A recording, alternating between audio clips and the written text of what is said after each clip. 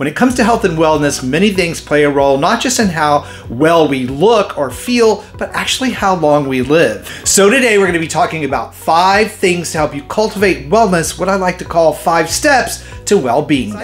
Hey everybody, welcome back. I'm excited to talk about these five things that can help you cultivate wellness, well-beingness, and they're evidence-backed steps that can actually help you in many areas. Not just things about how well your skin looks or how much you weigh, but your overall well-beingness, which is going to show up in your energy levels, helping you to look fabulous and be more positive and get the best things out of life. One of the first ways to improve our well-beingness is to take a look at our relationships, the people that we have around us and how we interact with them. Connecting with people, good relationships, all can make a huge difference in not only how healthy we are, but how long we actually live. These types of relationships help us build a sense of self-worth and belonging and can be surprisingly easy to accomplish. Things like taking out more time every day to spend with your family and your friends. One of the things that a lot of people have gotten away from doing that can be helpful in this area is to have a fixed time for dinner. A sit down dinner, no television, no social media, just good conversation over good food. Also, visiting friends and family members that might need a little bit of help, encouragement, or just conversation. And another sure way to help accomplish this is to find ways to volunteer and help out in your community. It builds, again,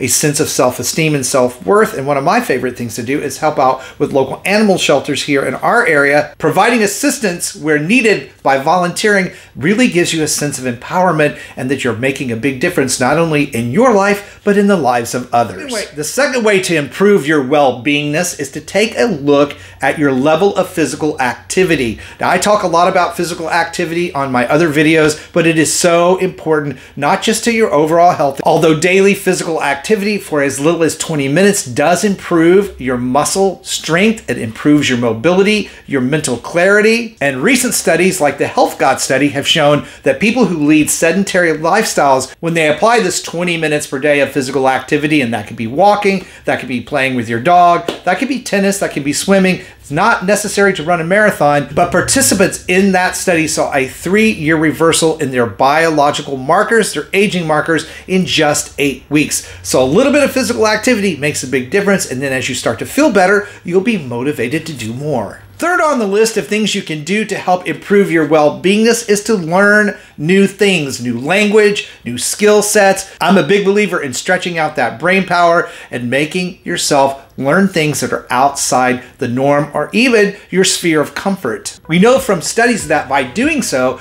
we create new neural pathways, which again leads to better mental and emotional health because those new neural pathways allow our bodies and our minds new ways of functioning at optimal levels. One of the easiest way to do this is get involved in DIY projects. I do it all the time and sometimes I'm really good at it and sometimes I'm not, but it is that stretch beyond what I normally know how to do that really is invigorating and I get a real sense of accomplishment whenever I get a project up and off the ground and successfully launched. So think about trying some new hobbies like writing or painting or even a new sport like swimming or tennis or something that might be really useful to you and others in your own personal life, all of these things can really help give you a sense of fulfillment, elevating your mood and your health every day. And number four on the list is giving back to others. Much in how I talked about volunteering can really lead to a sense of self esteem, self worth, and value. All of these types of acts of kindness and giving really improve your sense of self worth help you make connections with new people, even new friends, and that can be really life altering for a lot of us that are feeling stuck in our lives or in our daily routines. And then number five on the list is to practice being in the moment, mindfulness, realizing that the power of your life is never in the past or in the future, it is always in the now because it is the now from which we make all our choices and decisions. Paying more attention to the present moment gives you a sense of empowerment over your own life, emotions, and the decisions that you make on a day to day basis and a type of this practice that I have found most useful for myself is taking 15 to 20 minutes every day and meditating and just shutting everything off, going within and quieting the mind, allowing everything to have a sort of reset. Many, many times when I come out of meditation, I feel invigorated